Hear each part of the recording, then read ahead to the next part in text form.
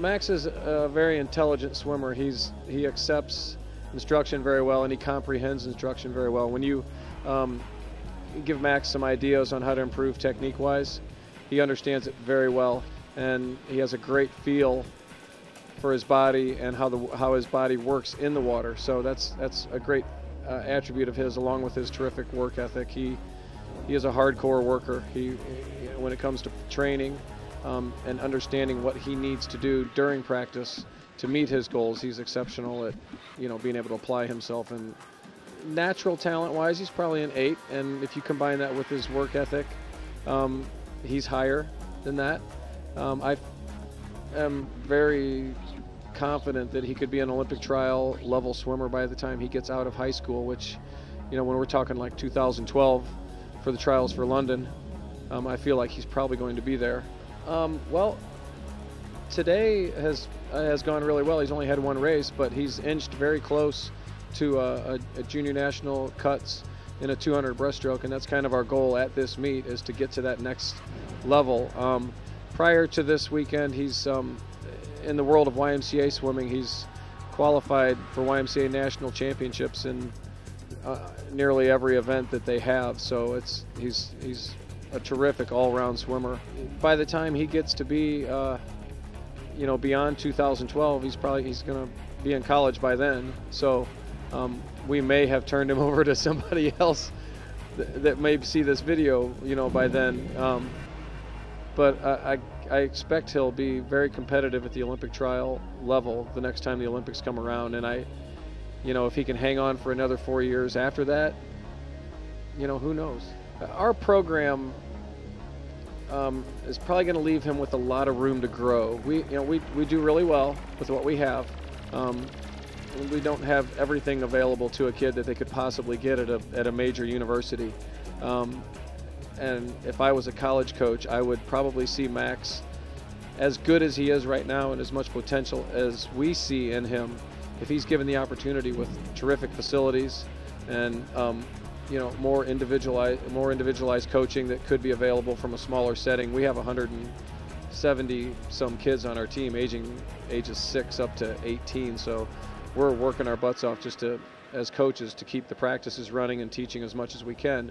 But if he's um, put in an environment where he has uh, the kind of stuff like a major university might offer, like Mizzou has here, I mean, he's to, I don't know how high he could go. I'm sure he would just take off.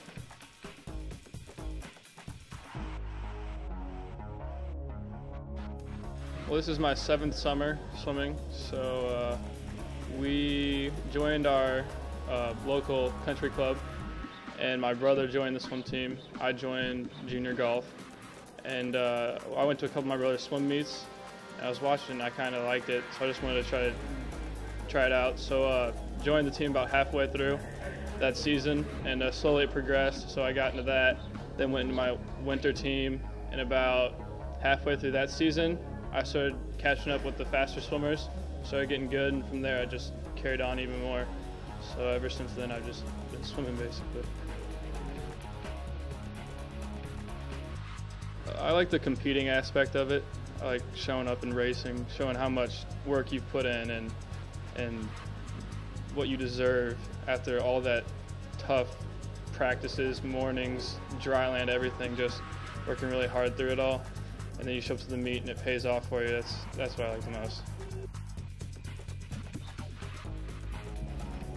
Oh, those practices where you show up and you're just like, God, this is this is not going to be fun. Just think like you just feel bad all over, and then you get in the pool and you're swimming and you're, you're trying to loosen up, but you just can't. And you get to the main set and it just it's not clicking. So those are probably the toughest. I I dislike those. I just I hate feeling bad in the water. It's the worst thing.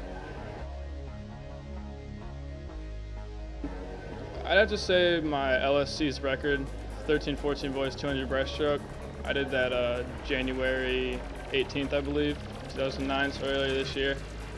I had been about a second off at a meet we had a, earlier that year, and then uh, went to another meet and we rested for it, and I got to put on a laser for the first time. Once I did that, uh, I felt really good that day, so I knew I had a chance. And when I touched the wall and saw that 209, I just that was great. That had to be the best feeling in swimming forever for me. Um, well, I'd like to obviously swim in college. Uh, that's probably, I mean, Olympic trials is, you know, that's the big one. And if I could just keep going until I feel like it's my time to stop, just drop it and start doing something else. But basically, as long as I can, as long as I like doing it and I love doing it and I enjoy it, I'm to just keep going until I'm done with that.